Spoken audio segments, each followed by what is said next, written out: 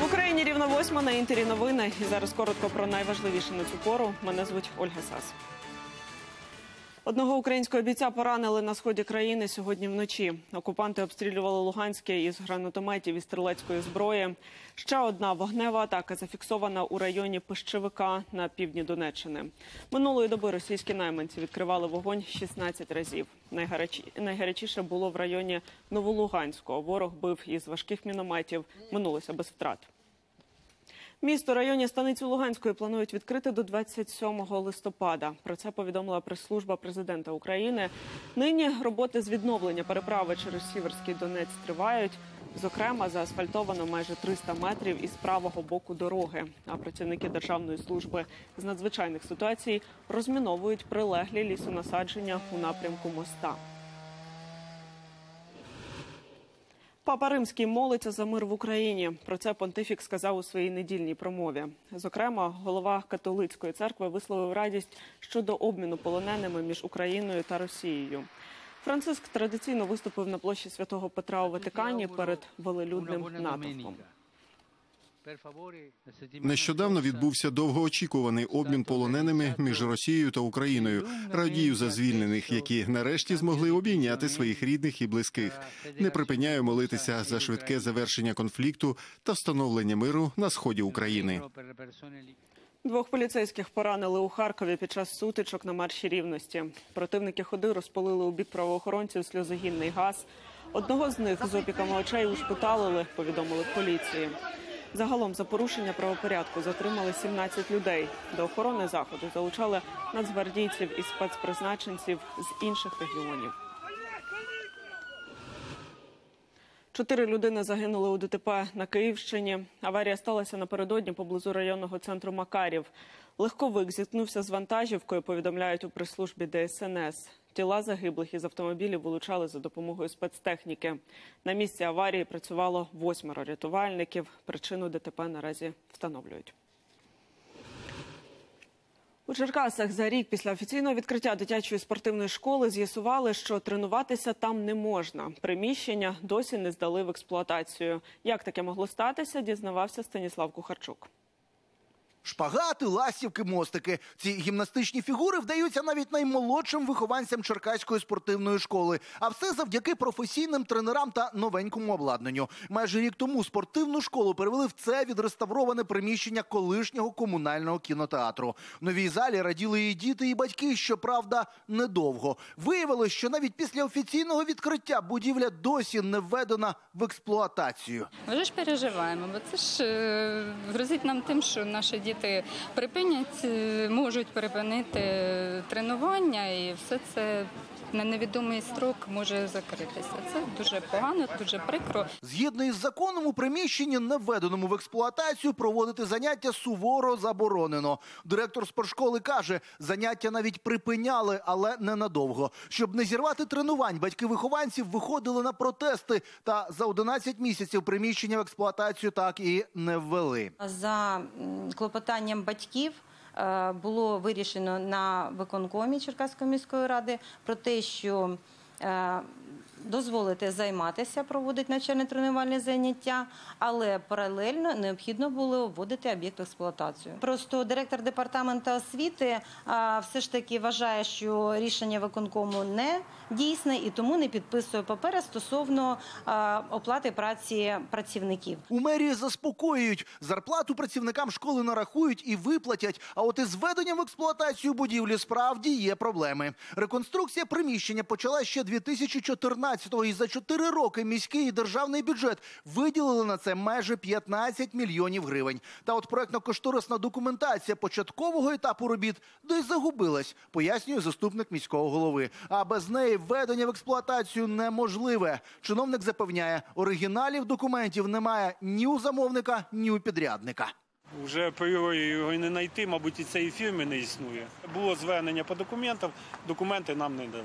Я знаю, що звертались по документам. Втрачені документи тепер шукають правоохоронці. У прокуратурі зареєстровані два кримінальні провадження. У провадженні слідчого відділу також перебуває кримінальне провадження за фактом е, використання приміщення колишнього кінотеатру Мир е, спортивною школою Спартак.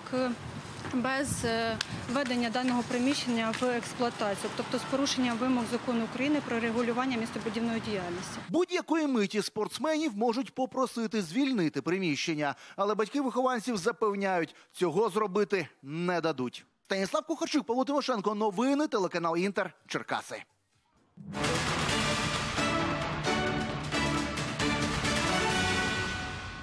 Індонезійську провінцію Східний Калімантан оповела хмара густого їдкого диму від пожеж. Більшість займань сталися через фермерів. Виробники пальмової олії та паперу випалюють площі під нові плантації. Люди скаржаться на кашель, нежить і головний біль. На боротьбу з полум'ям спорядили всі наявні сили і засоби, десятки пожежних загонів та військову, військову авіацію.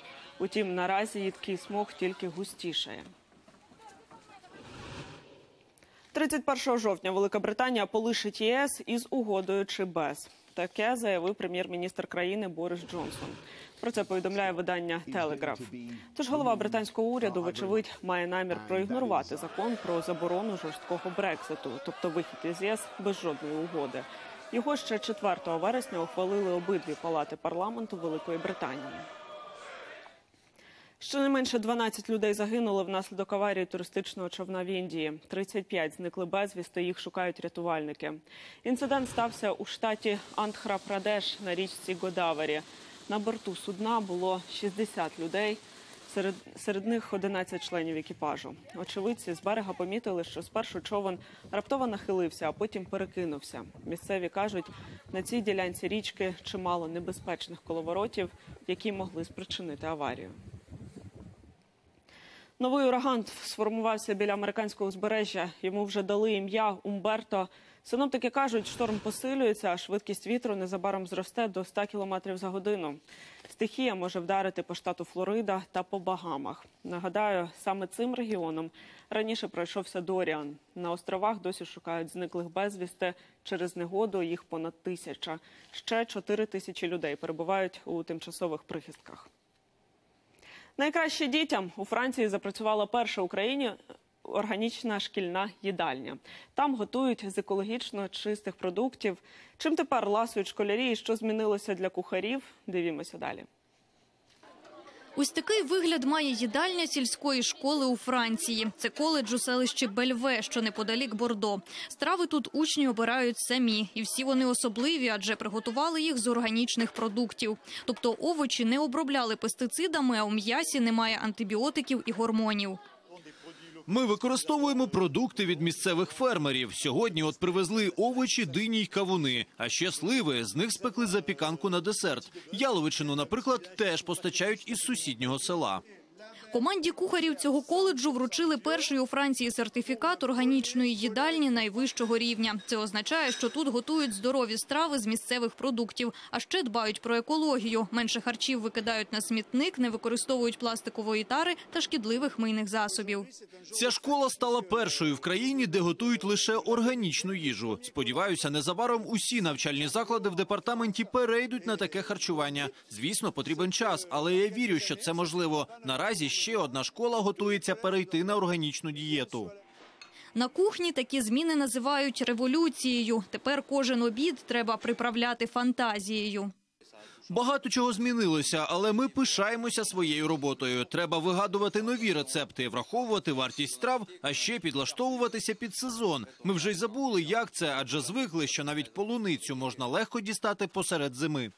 Місцеві фермери теж задоволені. Для них відкрився новий ринок збуту. Раніше я продавав продукцію кільком дорогим ресторанам і великим компаніям, але мені хочеться, щоб здорову їжу вживали не лише обрані. Важливо, щоб передусім наші діти їли свіжі та якісні овочі і фрукти. Серед школярів фаворит органічна картопля фрі. Та й від інших страв не відмовляються. Це добре, що в нашій їдальні тепер готують органічну їжу і для здоров'я корисно, і доволі смачно. Хоча екопродукти задоволення не з дешевих, для учнів цього коледжу обіди зросли в ціні лише на 10 центів і нині коштують євро 90. Анна Філь, новини, телеканал Інтер. Екоактивісти заблокували головний вхід на міжнародний автосалон у Франкфурті на Майні. За оцінками організаторів, протестували не менше як 25 тисяч людей. Серед них 18 тисяч велосипедистів. Акція, щоправда, не завадила роботі виставки. Її гостей просто пропускали до виставкового центру іншими дверима. Активісти виступають проти негативного впливу автомобілів на довкілля. А міжнародний автосалон, на їхню думку, особлює всю руйнівну силу транспортної системи. І це вся інформація у випуску. Більше новин уже о 9 Залишайтеся з інтером.